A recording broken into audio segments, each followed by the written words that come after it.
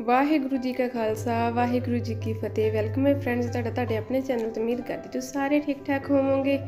ਹਾਂਜੀ ਫਰੈਂਡਸ ਅੱਜ ਆਪਾਂ ਬਣਾਉਣ ਜਾ ਰਹੇ ਹਾਂ ਜੀਰੇ ਵਾਲੇ ਆਲੂ ਤੇ ਬਹੁਤ ਹੀ ਟੇਸਟੀ ਲੱਗਦੇ ਨੇ ਤੇ ਬੱਚਿਆਂ ਨੂੰ ਇਹ ਬਹੁਤ ਪਸੰਦ ਹੁੰਦੇ ਨੇ ਤੇ ਬਹੁਤ ਹੀ ਜਲਦੀ ਬਣ ਜਾਂਦੇ ਨੇ, ਕਈ ਵਾਰ ਆਪਣੇ ਕੋਲ ਟਾਈਮ ਹੁੰਦਾ ਨਹੀਂ ਵੀ ਕੋਈ ਵੀ ਸਬਜ਼ੀ ਬਣਾਈਏ ਜਾਂ ਘਰੇ ਕੋਈ ਸਬਜ਼ੀ ਹੁੰਦੀ ਬਣੀ ਤੇ ਆਲੂ ਤਾਂ ਮੋਸਟਲੀ ਹਰ ਇੱਕ ਦੇ ਘਰ ਵਿੱਚ ਹੀ ਹੁੰਦੇ ਨੇ, ਆਮ ਜੀ ਇਹ ਹੈਗੇ ਨੇ। ਹਰ ਇੱਕ ਦੇ ਘਰ ਵਿੱਚ ਹੁੰਦੇ ਨੇ ਤੇ ਝਟਪਟ ਆਪਾਂ ਆਲੂ ਕੱਟ ਕੇ ਤੇ ਥੋੜੇ ਸਮੇਂ ਦੇ ਵਿੱਚ ਹੀ ਆਪਾਂ ਜੀਰੇ ਵਾਲੇ ਆਲੂ ਰੈਡੀ ਕਰ ਸਕਦੇ ਹਾਂ। ਤੇ ਕਰਦੇ ਆਪਾਂ ਅੱਜ ਦੀ ਵੀਡੀਓ ਸਟਾਰਟ ਤੇ ਵੀਡੀਓ ਨੂੰ ਥੋੜੀ ਜਿਹੀ ਵੀ ਸਕਿਪ ਨਾ ਕਰਨਾ। ਅਗਰ ਤੁਸੀਂ ਚੈਨਲ ਤੇ ਫਸਟ ਟਾਈਮ ਵਿਜ਼ਿਟ ਕਰ ਰਹੇ ਹੋ ਤੇ ਨਵੇਂ ਹੋ ਤਾਂ ਚੈਨਲ ਨੂੰ ਜਰੂਰ ਸਬਸਕ੍ਰਾਈਬ ਕਰਨਾ। ਹਾਂਜੀ, ਦੇਖੋ ਪੈਨ ਆਪਾਂ ਗੈਸ ਦੇ ਉੱਪਰ ਰੱਖ ਲਿਆ ਤੇ ਇਸ ਦੇ ਵਿੱਚ ਆਪਾਂ ਸਰੋਂ ਦਾ ਤੇਲ ਪਾ ਰਹੇ ਹਾਂ ਤੇ ਆਪਾਂ ਤੜਕਾ ਸਰੋਂ ਦੇ ਤੇਲ ਦਾ ਲਾਵਾਂਗੇ। ਪਹਿਲਾਂ ਆਪਾਂ ਸਰੋਂ ਦਾ ਤੇਲ ਇੱਕ ਕੜਛੀ ਵੱਡੀ ਕੜਛੀ ਦੇ ਕਰੀਬ ਪਾਇਆ, ਬਾਅਦ ਵਿੱਚ ਥੋੜਾ ਜਿਹਾ ਮੈਂ ਕੱਢ ਲੂੰਗੀ। ਪਹਿਲਾਂ ਸਭ ਤੋਂ ਪਹਿਲਾਂ ਆਪਾਂ ਇਸ ਦੇ ਵਿੱਚ ਪਾ ਦਿੱਤੀ ਹੈ ਹਿੰਗ, ਅੱਧਾ ਚਮਚ, ਇੱਕ ਚਮਚ ਆਪਾਂ ਪਾ ਰਹੇ ਹਾਂ ਜੀਰੇ ਦਾ। ਤੇ ਇਹਨਾਂ ਨੂੰ ਆਪਾਂ ਚੰਗੀ ਤਰ੍ਹਾਂ ਦੇ ਨਾਲ ਹੁਣ ਕਲਕਣ ਦੇਵਾਂਗੇ। ਤੇਲ ਨੂੰ ਆਪਾਂ ਗਰਮ ਕਰਨ ਤੋਂ ਬਾਅਦ ਵਿੱਚ ਠੰਡਾ ਕਰ ਲਿਆ ਸੀਗਾ। ਜ਼ਿਆਦਾ ਆਪਾਂ ਗਰਮ ਕਰਨ ਦੇ ਵਿੱਚ ਨਹੀਂ। ਜੀਰਾ ਪਾਇਆ ਨਹੀਂ ਤਾਂ ਇੱਕਦਮ ਜਦੋਂ ਪਾਵਾਂਗੇ ਤਾਂ ਸਾਰਾ ਜੀਰਾ ਆਪਣਾ ਜਲ ਜੂਗਾ। ਹਾਂਜੀ, ਦੇਖੋ, ਜੀਰੇ ਨਾਲ ਜਿਹੜਾ ਕਲਰ ਆ ਉਸਦਾ ਚੇਂਜ ਹੋ ਗਿਆ ਵਾ ਤੇ ਹੁਣ ਆਪਾਂ ਇਸ ਦੇ ਵਿੱਚ ਆਲੂ ਆ ਜਿਹੜੇ ਆਪਾਂ ਇਸ ਤਰ੍ਹਾਂ ਦੇ ਪੀਸ ਕੱਟੇ ਸੀਗੇ। ਤੁਸੀਂ ਕਿਸੇ ਵੀ ਸਾਈਜ਼ ਦੇ ਕੱਟ ਸਕਦੇ ਹੋ, ਲੰਬੇ ਵੀ ਕੱਟ ਸਕਦੇ ਹੋ। ਤੇ ਇਹਨਾਂ ਨੂੰ ਆਪਾਂ ਵਿੱਚ ਪਾ ਦਿੱਤਾ ਤੇ ਹੁਣ ਆਪਾਂ ਇਹਨਾਂ ਨੂੰ ਫਰਾਈ ਕਰ ਲਵਾਂਗੇ। ਬਸ ਇਸ ਤਰ੍ਹਾਂ ਦੇ ਨਾਲ ਚਲਾਉਂਦੇ ਜਾਣਾ ਵਾ। ਬਹੁਤ ਹੀ ਟੇਸਟੀ ਬਣਦੀ ਹੈ ਸਬਜ਼ੀ ਤੇ ਬਹੁਤ ਜਲਦੀ ਬਣ ਕੇ ਰੈਡੀ ਹੋ ਜਾਂਦੀ ਹੈ। 5 ਤੋਂ 7 ਮਿੰਟ ਦੇ ਵਿੱਚ ਹੀ ਇਹ ਵਾਲੀ ਜਿਹੜੀ ਆਪਣੀ ਜੀਰੇ ਵਾਲੇ ਆਲੂ ਨੇ ਬਣ ਕੇ ਰੈਡੀ ਹੋ ਜਾਂਦੇ ਨੇ। ਤੇ ਮੀਡੀਅਮ ਟੂ ਹਾਈ ਫਲੇਮ ਤੇ ਹੀ ਆਪਾਂ ਇਸ ਨੂੰ ਪਕਾਉਣਾ। ਜ਼ਿਆਦਾ ਨਾ ਤਾਂ ਲੋ ਫਲੇਮ ਕਰਨੀ, ਨਾ ਹੀ ਆਪਾਂ ਜ਼ਿਆਦਾ ਹਾਈ ਕਰਨੀ ਹੈ। ਠੀਕ ਹੈ? ਵਿੱਚ ਵਿੱਚ ਕਦੇ ਮੈਂ ਹਾਈ ਵੀ ਕਰ ਲੈਣੀ ਹੈ ਥੋੜੀ ਥੋੜੀ ਕਦੇ ਮੀਡੀਅਮ ਕਰਕੇ ਮੈਂ ਫਲੇਮ ਤੇ ਆਲੂ ਜਿਹੜੇ ਬਣਾ ਰਹੀ ਤੇ ਬਸ ਲਗਾਤਾਰ ਆਪਾਂ ਇਹਨਾਂ ਨੂੰ ਚਲਾਉਂਦੇ ਜਾਣਾ ਵਾ। ਤੇ ਤੇਲ ਇਸ ਦੇ ਵਿੱਚ ਫਿਲਹਾਲ ਜ਼ਿਆਦਾ ਲੱਗ ਰਿਹਾ। ਤੇ ਜਦੋਂ ਆਲੂ ਮੇਰੇ ਚੰਗੀ ਤਰ੍ਹਾਂ ਨਾਲ ਫਰਾਈ ਹੋ ਗਏ ਤੇ ਮੈਂ ਜਿਹੜਾ ਤੇਲ ਵਾ ਕੱਟ ਲਵਾਂਗੇ, ਇਸ ਦੇ ਵਿੱਚੋਂ ਥੋੜਾ ਜਿਹਾ ਤੇਲ ਵਿੱਚ ਰਹਿਣ ਦਵਾਂਗੇ।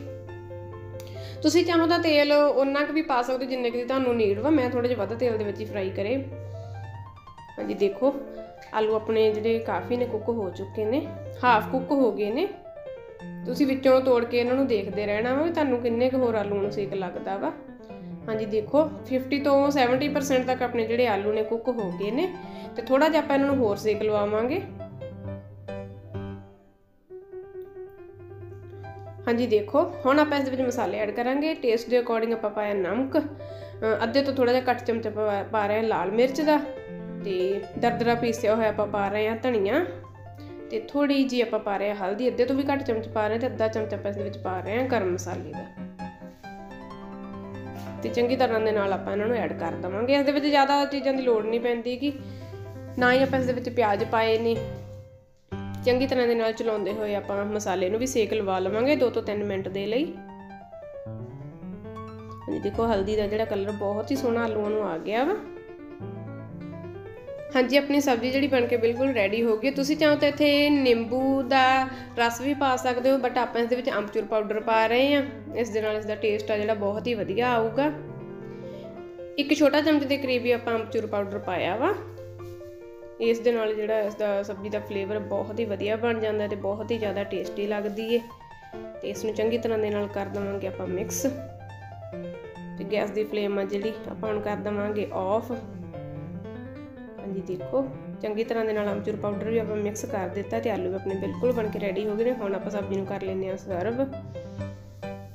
ਮੈਨੂੰ ਉਮੀਦ ਹੈ ਤੁਹਾਨੂੰ ਮੇਰੀ ਅੱਜ ਦੀ ਰੈਸਪੀ ਪਸੰਦ ਆਈ ਹੋਗੀ ਅਗਰ ਤੁਹਾਨੂੰ ਅੱਜ ਦੀ ਰੈਸਪੀ ਪਸੰਦ ਆਈ ਤਾਂ ਪਲੀਜ਼ ਪਲੀਜ਼ ਵੀਡੀਓ ਨੂੰ ਲਾਈਕ ਸ਼ੇਅਰ ਜ਼ਰੂਰ ਕਰਨਾ। ਚੈਨਲ ਤੇ ਫਸਟ ਟਾਈਮ ਵਿਜ਼ਿਟ ਕਰ ਰਹੇ ਤਾਂ ਪਲੀਜ਼ ਚੈਨਲ ਨੂੰ ਜ਼ਰੂਰ ਸਬਸਕ੍ਰਾਈਬ ਕਰਕੇ ਜਾਣਾ ਤੇ ਨਾਲ ਵਾਲੀ ਬੈਲ ਆਈਕਨ ਜ਼ਰੂਰ ਦਬਾਇਆ ਕਰੋ ਤਾਂ ਜੋ ਆਉਣ ਵਾਲੀ ਹਰ ਇੱਕ ਵੀਡੀਓ ਦਾ ਨੋਟੀਫਿਕੇਸ਼ਨ ਸਭ ਤੋਂ ਪਹਿਲਾਂ ਤੁਹਾਨੂੰ ਮਿਲ ਸਕੇ। ਦੇਖਣ ਦੇ ਵਿੱਚ ਆਪਣੀ ਸਬਜ਼ੀ ਦੀ ਜਿਹੜੀ ਲੁੱਕ ਬਹੁਤ ਹੀ ਵਧੀਆ ਆ ਰਹੀ ਏ। ਤੇ ਹੁਣ ਆਪਾਂ ਇਸ ਦੇ ਉੱਪਰ ਥੋੜਾ ਜਿਹਾ ਕੱਟਿਆ ਹੋਇਆ ਹਰਾ ਧਨੀਆ ਪਾ ਦੇਵਾਂਗੇ ਤੇ ਹਰਾ ਧਨੀਆ ਪਾਉਣ ਦੇ ਨਾਲ ਜਿਹੜੀ ਸਬਜ਼ੀ ਦੀ ਲੁੱਕ ਆ ਹੋਰ ਵੀ ਜ਼ਿਆਦਾ ਨਿਖਰ ਕੇ ਆ ਜਾਂਦੀ ਏ। ਹਾਂਜੀ, ਤੁਸੀਂ ਵੀ ਸਾਰੇ ਜਣੇ ਇਸ ਤਰ੍ਹਾਂ ਦੇ ਨਾਲ ਜੀਰੇ ਵਾਲੇ ਆਲੂ ਬਣਾਓ ਤੇ ਖਾਓ ਤੇ ਮੈਨੂੰ ਕਮੈਂਟ ਬਾਕਸ ਵਿੱਚ ਕਮੈਂਟ ਕਰਕੇ ਜਰੂਰ ਦੱਸਣਾ ਤੁਹਾਨੂੰ ਮੇਰੀ ਅੱਜ ਦੀ ਰੈਸਪੀ ਕਿੱਦਾਂ ਦੀ ਲੱਗੀ।